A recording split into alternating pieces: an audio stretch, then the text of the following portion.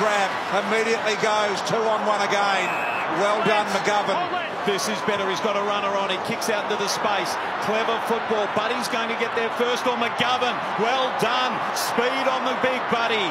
Hurn just couldn't afford to take the risk that the ball ended up in his hands. Parker, that was superb football from the Swans. Now Buddy put the one hand up. Maybe needed two to Hannebery, to Florent, who's doing a really good job in this part of the ground. Goes long. This is better for Franklin.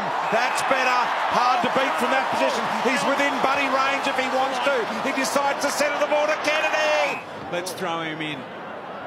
Down the line towards Buddy Franklin influential and instrumental in a lot of the fight back from the Sydney Swans. McGovern left his man, won the footy. Jones goes down towards the 50.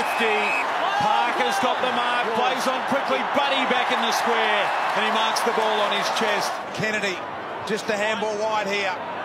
And a beautiful kick to Franklin on that occasion by Heeney, but picked up here by McGovern.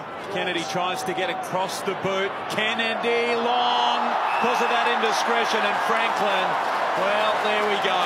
Buddy. And they let McGovern know.